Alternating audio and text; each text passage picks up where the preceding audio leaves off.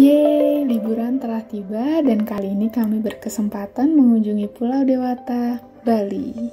Sesampainya kami di bandara, kami sangat bersemangat walau cuaca saat itu sangat panas, tak menghalangi kami untuk berselfie ria. Tak ambil waktu lama, kami pun segera mencari destinasi wisata pertama kami dan kami pun memutuskan untuk melihat patung terbesar di Pulau Dewata. Apalagi kalau bukan patung Garuda Wisnu Kencana atau biasa disebut patung GWK yang letaknya berada di Uluwatu.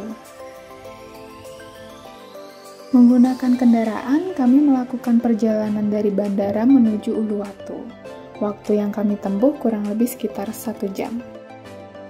Tiba di depan pintu masuk Garuda Wisnu Cultural Park Uluwatu, kami menyempatkan untuk berselfie terlebih dahulu.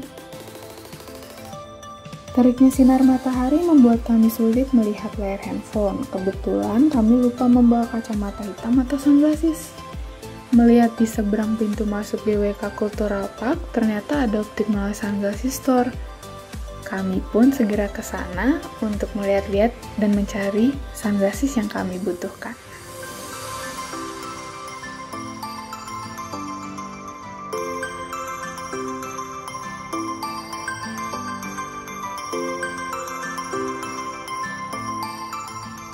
Saat masuk dan melihat-lihat, ternyata tidak hanya sunglasses saja, namun frame dengan ukuran pun juga tersedia di sini.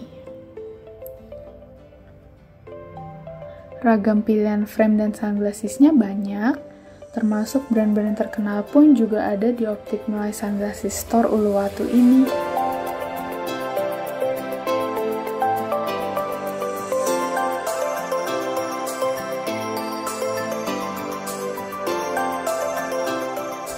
Ternyata kami juga dapat melakukan pemeriksaan mata secara gratis dengan dibantu tenaga profesional yang alat pemeriksaannya pun super canggih.